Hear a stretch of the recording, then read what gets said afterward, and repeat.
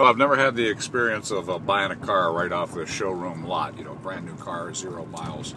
Um, all the cars I've ever bought have been used cars. And the last used car that I bought, I bought from a private owner.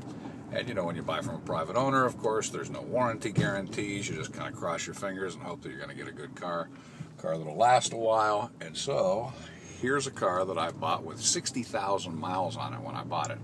And uh, right now, I know we all are interested in watching when the speedometer turns over. So if you look at that right now, it's got 299,999 miles on it. Unbelievable. Here it comes.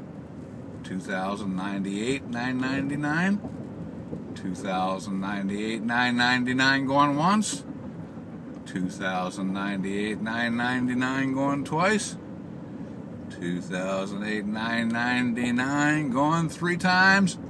Come on baby turn over to 299,000 miles. And and it takes a long time to go a mile. Come on baby. You can do, there it is. There it is. Turned over. That is so sweet now if I can just get another thousand miles out of it so I have 300,000 miles. Amazing